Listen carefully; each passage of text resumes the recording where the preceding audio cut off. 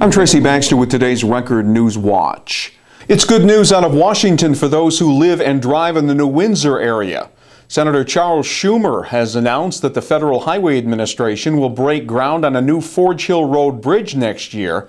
Federal highway officials have also agreed to install a traffic light at the nearby Route 94 Butternut Drive intersection that was made dangerous by the increased traffic forced through the area because of the closing of the bridge more than a year ago. The Forge Hill Road span sustained severe damage as the result of Hurricane Irene, including a 50 foot deep sinkhole.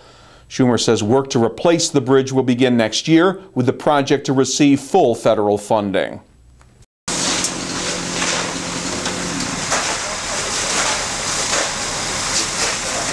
The preliminary word from the scene the two alarm fire is suspicious. Firemen from the city of Newburgh got the call shortly after 8 this morning. A condemned and vacant house at 187 Carson Avenue was ablaze.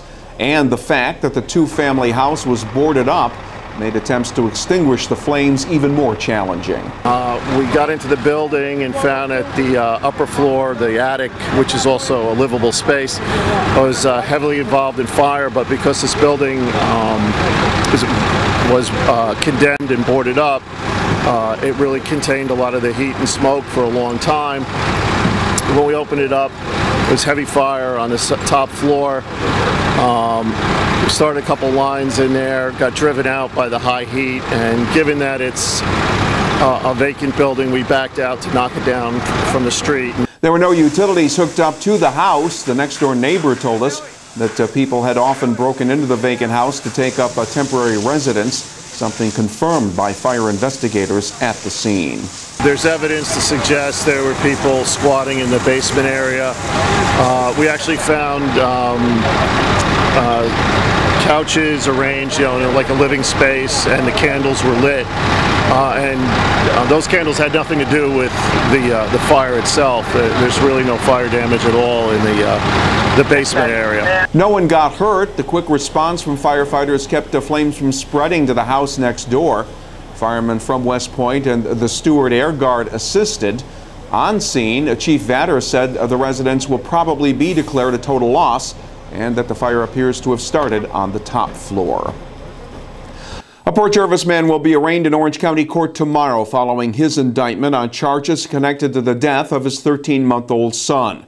An Orange County grand jury's handed up a five-count indictment against 22-year-old Brett Canoff, charging him with two counts of second-degree murder, two counts of manslaughter, and endangering the welfare of a child. Police arrested Canoff following an investigation into the September 24th death of his infant son Cameron. Prosecutors say Kanoff smothered the infant with a blanket to stop him from crying. Relatives in the Ball Street home discovered the unresponsive child, but arriving emergency responders could not revive him.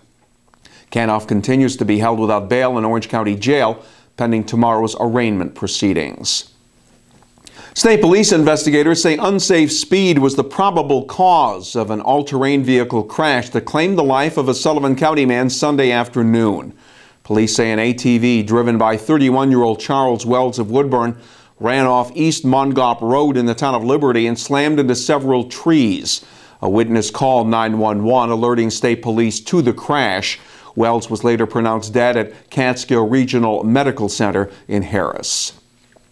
Last week, Ulster County Health Department officials confirmed two cases of Legionnaire's disease at the Governor Clinton Senior Housing Complex in Kingston.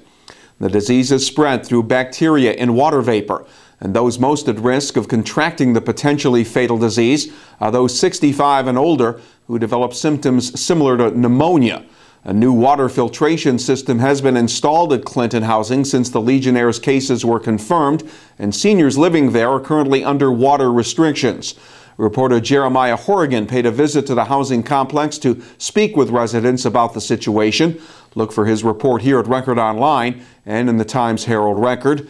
Now, back in 2010, two people were diagnosed with Legionnaires at Golden Hill Infirmary in Kingston. In that case, one of the two elderly women died. And could Tuxedo be back in the mix when it comes to a place for Greenwood Lake students to attend high school? Well, tonight, the Greenwood Lake School Board could decide whether or not to add Tuxedo's George Baker High School to its list of options that uh, currently include high schools in Warwick and Chester. Greenwood Lake residents have been lobbying to have the board reconsider Tuxedo. And Tuxedo School Board uh, has uh, decided, decided last month to lower its proposed tuition rate in an attempt to get the Greenwood Lake Board to reconsider its planned student shift to either Chester or Warwick next school year. Greenwood Lake students currently make up 80% of the student body at Tuxedo's Baker High School. More clouds are in the Wednesday forecast, but Thursday could be the nicest day of the week weather-wise. Uh, Wednesday will be mostly cloudy with the chance of a passing shower. The highs will reach the mid 60s. Thursday will be mostly sunny, but on the cool side, with temperatures expected to top out in the low 60s. Make Record Online your source for online news wherever and whenever it breaks, and read all the stories and features important to you in tomorrow's Times Herald Record. For Record Newswatch, I'm Tracy Baxter.